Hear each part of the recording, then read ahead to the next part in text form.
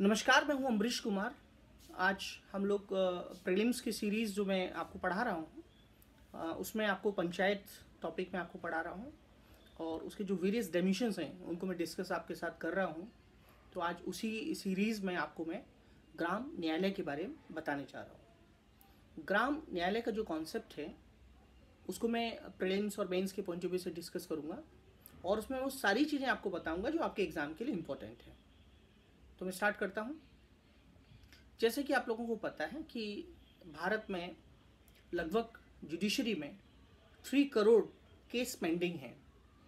तो ऐसी स्थिति में जो पेंडेंसी ऑफ़ केसेस है इनको कम कैसे किया जाए?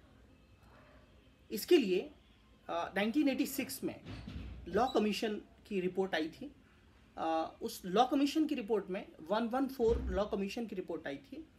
जिस लॉ कमीशन की रिपोर्ट में कहा गया था कि पंचायत में ग्राम न्यायालय का कॉन्सेप्ट वो लेके आए थे, उन्होंने रिकमेंडेशन दिया था, सिफारिश दी थी कि जो पंचायत है, उनमें ग्राम न्यायालय जो है सेटअप किए जाएँ इस्टेब्लिश किए जाएँ, ताकि लोकल लेवल पर जो है, वो लीगल जस्टिस लोगों को मिल सके और जिससे कि जो है केसेस की जो पेंडेंसी है, वो कम हो सके।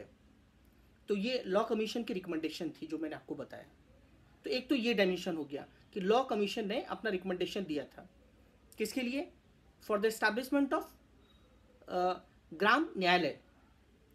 उसके बाद फिर आप देखेंगे कि हमारा जो कॉन्स्टिट्यूशन uh, है उस कॉन्स्टिट्यूशन में directive principle of state policy राज्य के नीति निर्देशक तत्व जिनमें एक आर्टिकल है। आर्टिकल 39 ए ये कहता है कि भारत में फ्री लीगल एड निशुल्क सहायता निशुल्क विधिक सहायता फ्री लीगल एड प्रोवाइड करना ये स्टेट की ड्यूटी है ये राज्य का कर्तव्य है। देखिए भारत में हर व्यक्ति तो उतना सक्षम नहीं है इतना कैपेबल नहीं है कि वो लॉयर को हायर कर सके और उनकी फ़ीस पे कर सके।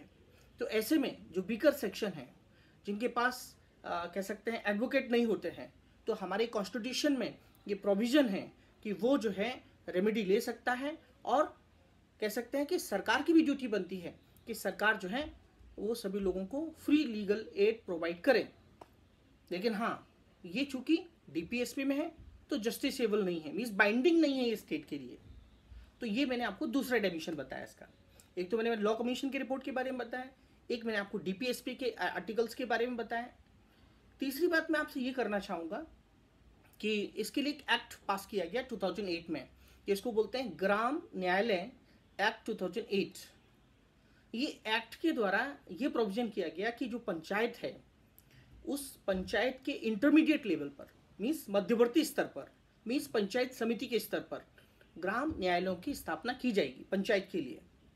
और ये जो ग्राम न्यायालय होंगे, जिनका स्टैब्लिशमेंट होगा, ये लोकल लेवल पर लोकल बॉडीज में लोगों को जस्टिस प्रोवाइड करेंगे। जिससे जो इंडिया में केसेस की जो पेंडेंसी ज़्यादा चल रही है, वो कम हो सकेगी। लोगों को कह सकते हैं, एक त्वरित न्याय मिलेगा और जस्टिस जल्दी जल्दी प्रोवाइड किया जाएगा लोगों को।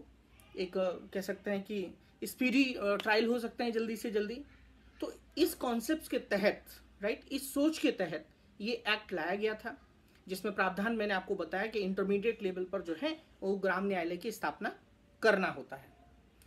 ये जो ग्राम न्यायालय का जो स्टैब्लिशमेंट होता है, कौन करेगा? बात ये है। तो इसके लिए जो स्टेट गवर्नमेंट है, कोई भी स्टेट गवर्नमेंट वो ग्राम न्यायालय का स्टैब्लिशमेंट करेगी with advice of high court concern high court उस हाई कोर्ट उस राज्य के हाई कोर्ट से कंसर्न करके एडवाइस लेके, परामर्श से जो है, वो ग्राम न्यायालय का स्टैब्लिशमेंट हो सकता है, किया जा सकता है। सबसे ख़ास बात है कि ये जो न्यायालय होंगे इनकी जो आ, कह सकते हैं कि ये जो पनिशमेंट देंगे इनके जो पनिशमेंट का जो आ, कह सकते हैं कैप है ये मैक्सिमम टू इयर्स तक का है राइट दो साल तक की सज़ा ये सुना सकते हैं।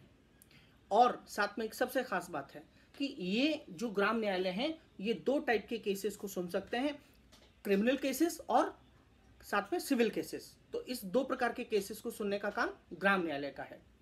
तो ये तो मैंने आपको उसके बारे में कॉन्सेप्ट बताया।